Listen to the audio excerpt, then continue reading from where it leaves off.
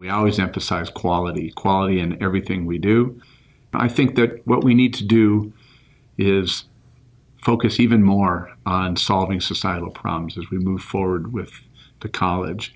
We need to help to establish the path that the nation, the Commonwealth should take toward mitigating against climate change while addressing the prosperity that can result from developing our energy resources. And these um, related challenges are perfectly um, designed for uh, solutions that, that can emerge from the College of Earth and Mineral Sciences. We have five departments, uh, but these are departments that are focused around areas of energy, earth science, and material sciences. And these areas are close.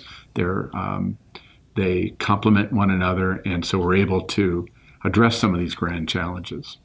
We also have this great resource, and that is our alumni that I think we haven't quite tapped into adequately.